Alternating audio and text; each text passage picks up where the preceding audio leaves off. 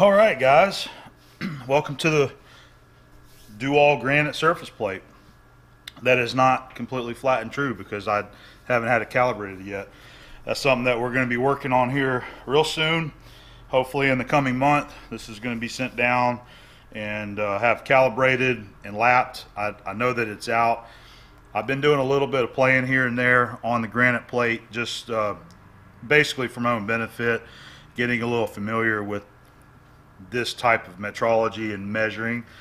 I've said it before, this kind of stuff right here is not a lot of measuring that I did coming up through the job shop.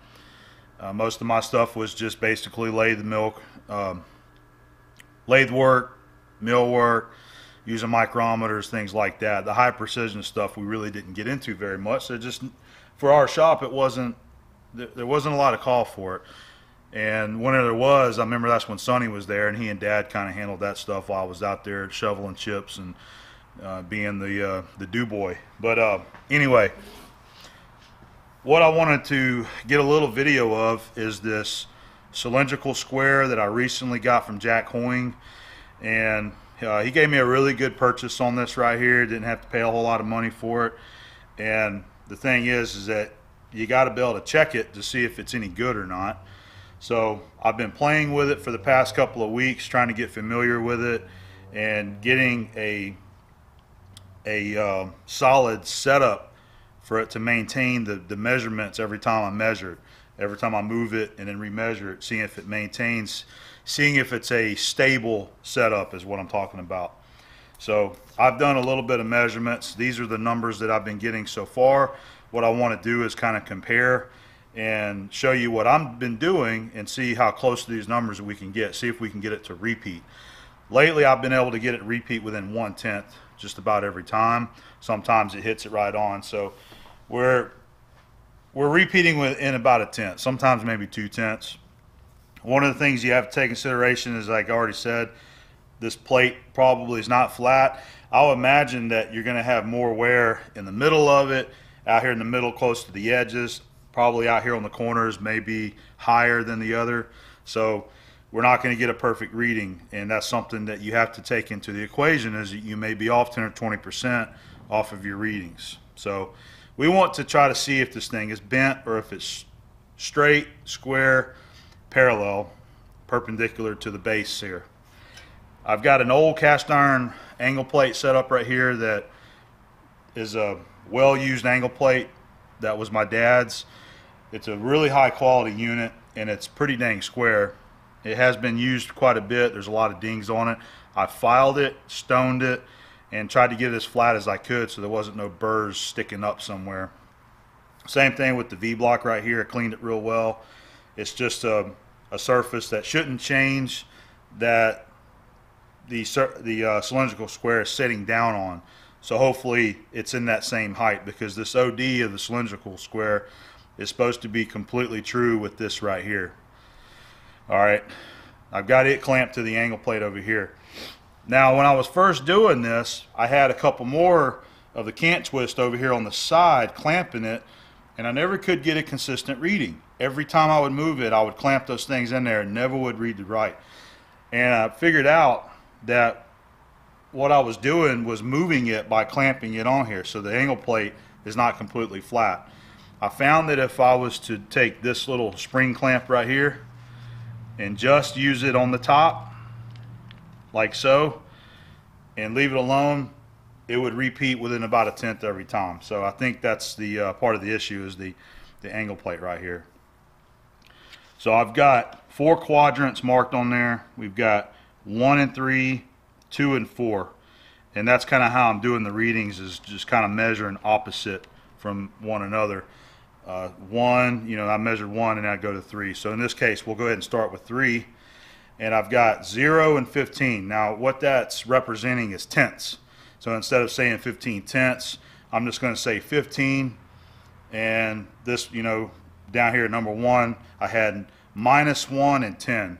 So that's minus one tenth, and then 10 would be, you know, plus on the plus side of it. The other thing you got to keep in mind on these Interapids is that it's reading opposite. Counterclockwise is your positive, clockwise motion is negative. This is a really nice Brown and Sharpe height gauge that was given to me last year. Uh, one of the guys that was at the um, NYCNC open house, I, I apologize, I can't remember the name, uh, who it was that give me, uh, give this to me, but I'm using it. I've got this Brown and Sharpe adapter that's come that I put in here to hold the test indicator, and it's working out to be a pretty good stable setup. I've already wiped it off, wiped everything off, so hopefully there's no dust. Now let's go ahead and give it a shot. So we're at 0 and 15. Let's see if I repeat that.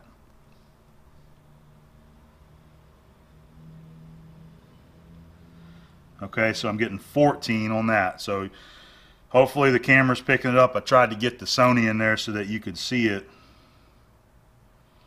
So it looks like about 14. I'm going to come up in here all the way all the way up against right close to that radius. And I'm getting minus one. So that's repeating oh, I'm sorry three. So zero. So we're one tenth off on both ends right there. Alright so let's go ahead and go to one. So I'm just gonna hold my finger on the end of this try to keep it flat try not to bang it around and I'm just gonna spin it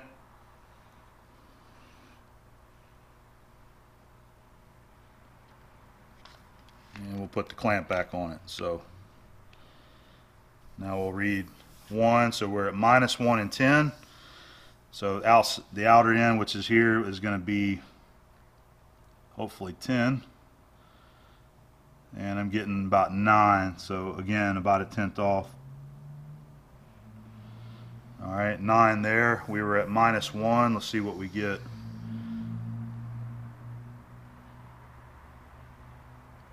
minus 2. Okay, so again, a tenth. Minus 2, so a tenth off. And then sometimes you can come out here, move the, the base out here to the middle of the plate, and you're getting a different reading than what you were. Okay, so there's a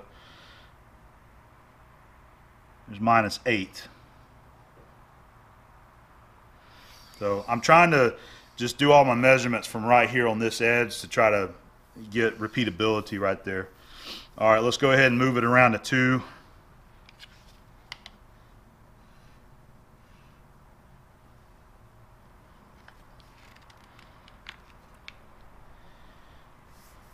All right, then we're at minus one and 15. So it'll be about 15 out here on the very end and I'm getting 14. All right, let's come up in here. So what are we going to get? Minus 2. It's about minus one and a half. There's 2. You get about a half a tenth difference depending on which direction you go. Pretty close, within a tenth. All right, our last one is going to be position four. So we're going to rotate it 180 degrees.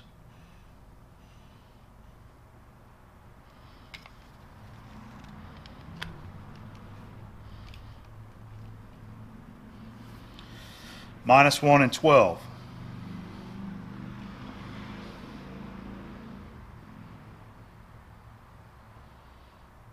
Looks like minus 11 and a half about a, a half a tenth off on that one difference. We said minus one. Uh, about minus two there. Okay, so you see every every position I'm within one tenth. So the I think the the setup is pretty stable, but I think my weakness is the actual angle plate, probably the uh, the V block as well.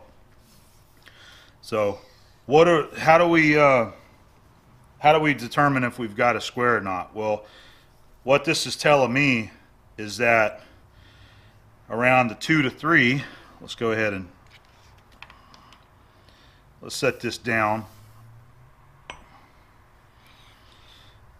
It looks like, you know, somewhere around the two to three position, we're straight.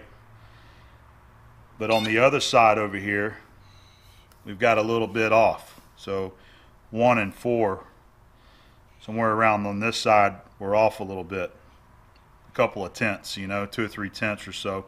And again, you're reading error on this on this bad plate as well, so it's hard to determine how much you're in. And I was talking to uh, Tom Lipton about this. He gave me a lot of good pointers on how to set this up and how to check that. And I give him the numbers, and he says that this uh, this would be about 80% correct. So we've got probably about a 20% there that we're unsure of. So part of that is in the cylindrical square itself, and part of that's going to be in the, the plate not being flat, and then the other part's going to be in the uh, the setup right here, you know, with the angle plate and everything. So um, I think we have a pretty close cylindrical cylindrical square, but I don't think it's perfect. But if you look at these numbers, if you look at those numbers, these are all right there at the base. So that's pretty consistent. That's pretty that's pretty good right there. But we've got a little bit of tilt on one section out here at the end. So what I what I'd like to do is whenever I after I get the granite plate back in a couple months or so and make sure that it's um, it's lapped in nice and flat, then we can start working on some better setups and and rechecking this stuff to see how how good it is, how square it is. So anyway, I just kind of wanted to share that with you guys today. It's a nice weekend and I've been making some videos and I wanted to get over here and make another little video to follow up on the cylindrical square. And uh, hope you enjoyed and we'll see you real soon.